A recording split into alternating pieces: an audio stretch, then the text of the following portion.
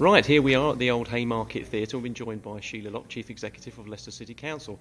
Good afternoon, how are you? Hello, I'm fine, thanks, John. Good, good. Right, so we've just had a, a tour around the building. What, what, do you think of the, uh, the proposed plans for the Haymarket My Place project here? Um, I think it's really exciting. Uh, it's the first time I've had a chance to come and have a look around. I think the space is fantastic.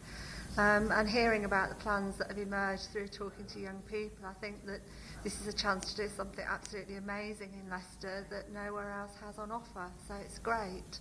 Now, I've been speaking to people like uh, the Lord Mayor and Ross Willmott and, and Daniel Williams, and I'm catching up with uh, sort of key people in, in the city, if you like, that young people will be aware of, but maybe have not necessarily met, um, to find out from them what they think about the Haymarket, uh, My Place and stuff. And the general feeling is it's fantastic to have such a, a large venue, if you like, for the first time in the city centre for young people. Is that something you agree with as well? Oh, absolutely. I think when we were doing all the consultation work that we did around One Leicester and the kind of city that we wanted Leicester to be over the next 25 years, the one thing that young people said very clearly and very loudly, um, and quite rightly, was that they wanted a place in the city centre that was theirs, that they could own, that was a meeting place, an opportunity to do new things and new activities.